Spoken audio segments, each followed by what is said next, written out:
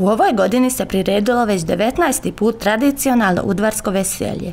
Članovi Hrvatske narodnosne samouprave Udvara, pored drugih istaknutih programa, veliku pažnju posvećuju na organizaciju te priredbe koja se već skoro 20 godina priređuje. E, pa ova e, samouprava u kojoj sam ja sad kao predsjednica, ova djeluje u 2018. su nas e, zamolili i zatražili, znači onda smo na izborima mi stigli. Hvala dragim Bogu da imam jako mlade suradnike, imamo još dva članova, Ivanu Božanović i Petara Balaža, jako su aktivni, hvala Bogu i mi radimo sad već e, drugi e, ciklus. Znači, e, pokušavamo malo i ove ostavštine što su nam ostavili naši preci, da to malo obnavljamo, da to malo, kako da kažem, da oživimo to u selu.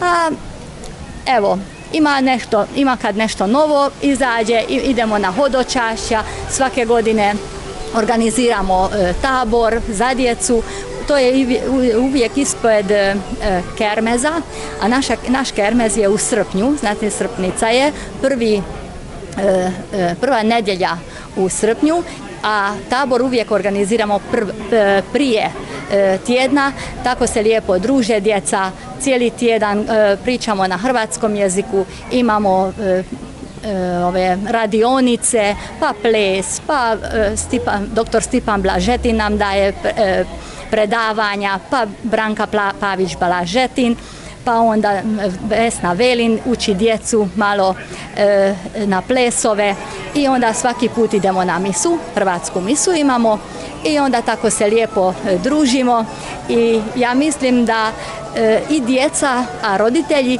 a isto i starija generacija jer žene drage su, one nam uvijek pomažu kad je ručak, doručak, pospremaju, tanjure nam skupljaju, pospreme. Znači ja mislim to sve, svo selo se veseli onda. E ovako, dvije e, druge, znači prije 20 godina kako su još utemeljili to udvarsko veselje ovdje u naselju, ali znamo zbog pandemijske situacije jedna godina je ispala i tako nam sad ispada da je to 19. 19. E, udvarsko veselje.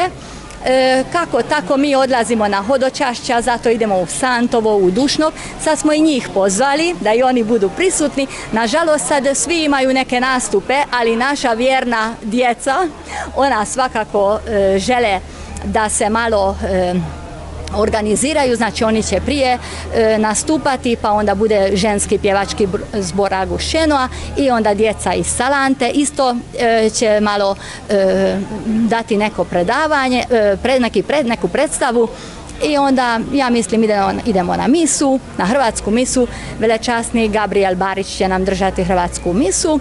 Ove godine po prvi put su dalje bogatili program organizatori, priredili su natjecanje u kuhanju gdje su se šest ekipe natjecale. Pored tradicionalnih hrvatskih jela, jedno posebno njemačko jelo se isto natjecalo. Hát az én fazekamban német étel készül, mert én a magyarországi német kisebbséghez tartozom, és egy belsőségpörköltet készítek, amit mi otthon Sauresnak hívunk. Úgyhogy én egy ilyen német étellel készültem, hozzá flutát fogok sütni, az pedig egy krumplis fánk, azt hiszem magyarul talán úgy lehetne mondani.